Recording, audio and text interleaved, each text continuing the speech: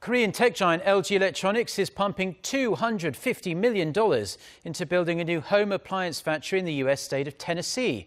The company held a groundbreaking ceremony near Clarksville on Thursday to mark what will be its first U.S.-based factory once completed.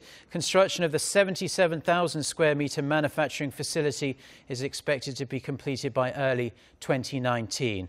Now, LG says the new factory will bring 600 full-time jobs to the local local area. The company added that it chose the location based on Tennessee's excellent business climate, quality workforce and central location for distribution.